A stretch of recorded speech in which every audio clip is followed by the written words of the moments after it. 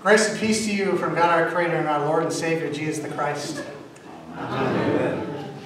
So, what are we to make of this gospel passage from Mark chapter 1? About a month ago, we heard part of the story before concerning John the Baptist, a wild man of sorts who preached a message of repentance that said, Forget the way that you are living now and return to the way of the Lord, doing all of this while eating, well, bugs dipped in honey.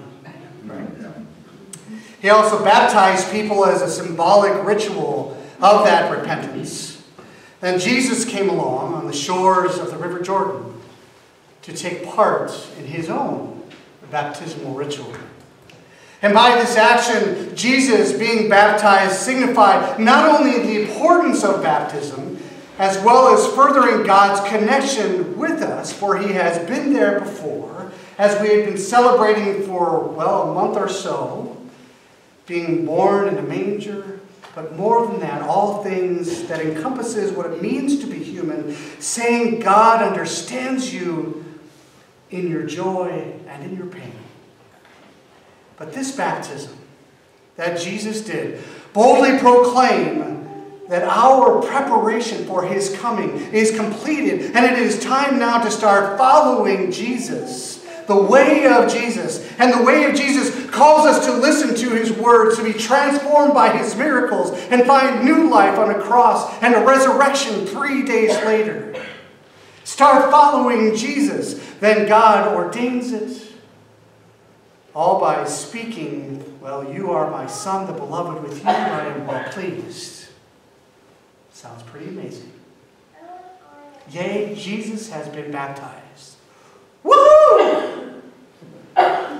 And Jesus has done all of this all of these things supposedly for our sake.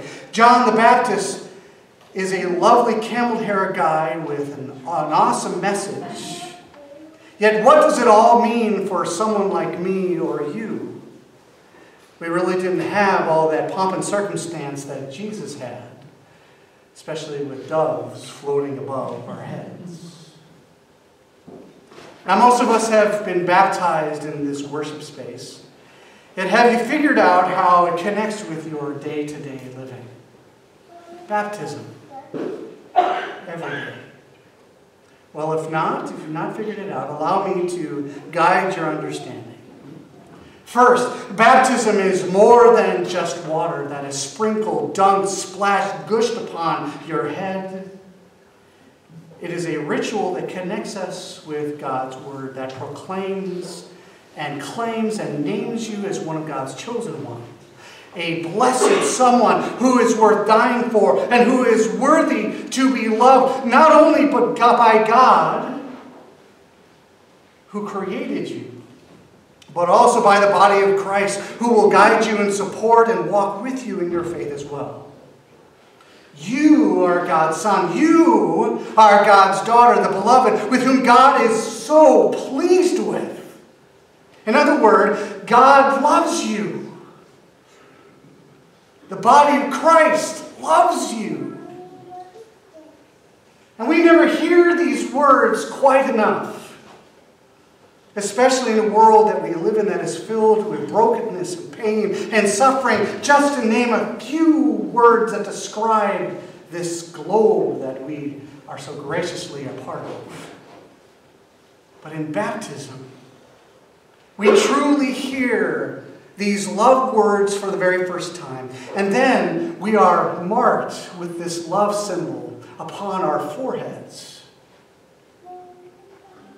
However, many of us, when the water has been dried up and we go on with our daily life, we figure out, well, hey, my baptism was fun. Mark it off the to do list. Or some of us stop right there and ask, what more could there be for me? I'm loved, and so I'll stay here, treating the baptismal water like a jacuzzi, sitting right there on the lip and going, ah. Not moving at all. But I want you to know this Jesus, after he is baptized, does not swim in the Jordan after he gets this dove above his head, and God says that, you know, God is very well pleased with him. And instead, Mark chapter 1, verse 12 says, And the Holy Spirit immediately drove him out into the wilderness. And you could probably even see where he went with those wet footprints from the River Jordan. For 40 days he was tempted, but focused on God. And then his ministry began where John the Baptist left off. He called his first disciples, Simon Peter, Andrew, James, and John. And then he did miracles and taught and told people all about God, called others to follow him. Nowhere in Scripture does it say that Jesus took a break when it came to God. He got out of the water and moved. Which begs the question why don't we do the same? Now remember, we are connected to God through Jesus by his words of love with this holy water that flows over our brow. Yet that is just the beginning of so much more to come when it comes to our baptism. For you see, baptism is not just a moment. Baptism is a lifestyle that it desires for us to get out of the water and start moving in with and for God, calling others to experience, to see, and to taste God's love for themselves. Yet, even though your baptism calls you to get a move on uh, with our watery feet, how many of us are still in the baptismal jacuzzi? not knowing what to do, or hesitant to even move forward. So ask yourself this Do you want everyone and anyone to see what you see? Do you want them to know what you know, especially when it comes to your loved ones, let alone the stranger who needs Jesus just as much as, well, everyone else does? God is not a secret that we need to be hiding. We are called to speak of God's love. Do not hesitate. And I understand that many of you don't know what to do or say what to say. Let me give you some of the things that I say often about what you can do. Number one, start with praying. Pray for your neighbor. Pray with your neighbor. Show acts of compassion and grace. Use the gifts God has blessed you with to state your baptismal faith. Speak of God and what God has done for you often as you are able. Read Scripture. Show a dedication to a worship life. Yep, show up on Sundays. But through it all, welcoming people to hear how they are beloved and they are a pleasing creature, child of God. So, in short, your baptism for your daily living is a constant responding to God's love for you. So get out and start moving. Let me tell you a final story that happened this morning. Safeway, today we're having our church luncheon. Thought I needed to pick up a little something. I was in the deli section. Now, folks, I do not proclaim to people on my chest where it says, Hark! I am a seminary trained pastor. No. I had my coat zipped up. You couldn't see the clerical. You couldn't see a cross that I always wear. There is no identifying mark on me that says that I am a pastor. So here I am grabbing my potato salad. Please eat it today. So I grab my potato salad, and here is this woman, a little younger than I am, with her two kids. She is in tears. Right next to me, kind of doing this whimpering kind of tear.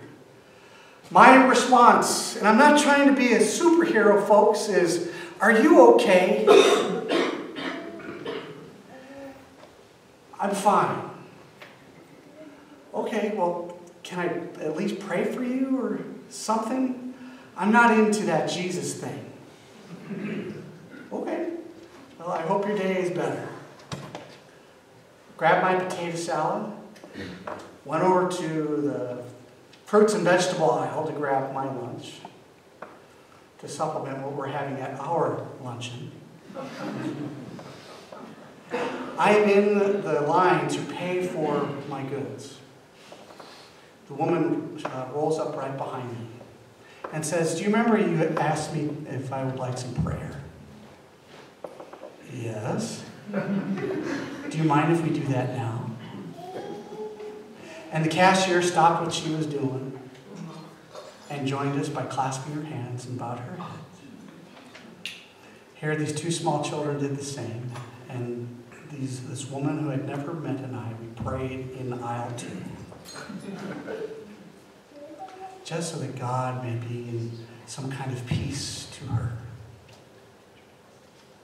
It's not that hard, folks.